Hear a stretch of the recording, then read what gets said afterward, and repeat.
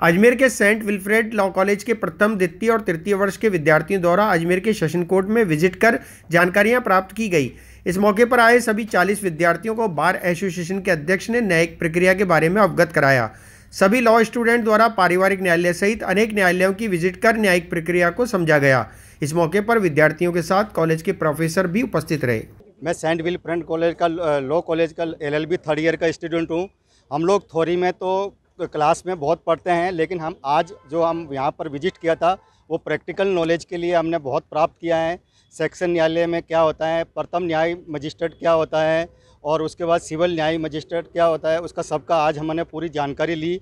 और हमें जो यहाँ के जो सेक्शन न्यायालय और प्रथम वर्ग के न्यायिक मजिस्ट्रेट थे, उन्होंने हमें अच्छी तरह से गाइडनेस किया कि आप लोग है ना प्रैक्टिकल तो प्रैक्टिकल में जितना ज़्यादा ध्यान दोगे, उतना ही अपना आगे का सेटअप सेटअप कर सकोगे।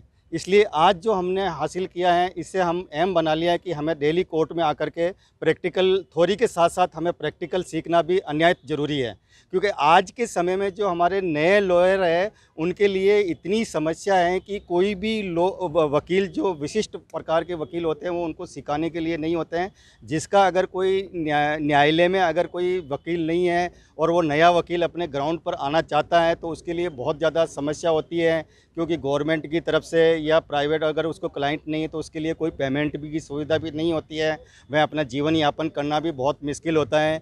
ये हमारे प्रोफेशनल लॉ में मतलब बहुत ज़्यादा प्रॉब्लम है और इसके लिए हम जो अगर मान लो आर्थिक स्थिति से जो विद्यार्थी ठीक है, उनके लिए तो ठीक है, जिसकी आर्थिक स्थिति ठीक नहीं है, उन विद्यार्थियों के लिए हमारे देश के प्रति या जो हमें जो बाहर जो बार काउंसिल ऑफ़ राज्य राज्य विधिक परिषद से और एक भारतीय विधिक परिषद से हमारे से अनुरोध है कि हमें जो एक नए वकीलों के, नए लोअर के लिए हमें कुछ व्यवस्था की जाए और उनके लिए बेंच की व्यवस्था की जाए जिससे कि हर एक को जाने के बाद उनको सिखाने का प्रयास करें और जो जो कि वो अपना आगे के लिए बहुत ज़्यादा प्रोग्रेस कर पाएँ। Sir saint Wilfred law college Gegal Ajmer की तरफ़ से जो विधि के विद्यार्थी हैं, प्रथम ईयर प्रथम वर्ष, द्वितीय वर्ष और तृतीय वर्ष के, उनका सेशन कोर्ट का विज़िट था।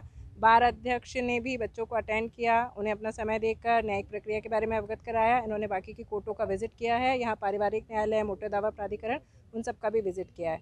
और हमारे साथ में हमारे बाकी असिस्टेंट प्रोफेसर भी इनके साथ ही हैं, अंजनी कुमार शर्मा, महेंद्र मोहन सर। चालीस स्टूडेंट्स की परमिशन थी और चालीस स्टूडेंट ने अभी यहाँ पे अपना जो भ्रमण है कोर्ट परिसर का वो संपूर्ण किया है और यहाँ की न्यायिक प्रक्रिया और कार्यवाही को समझा है।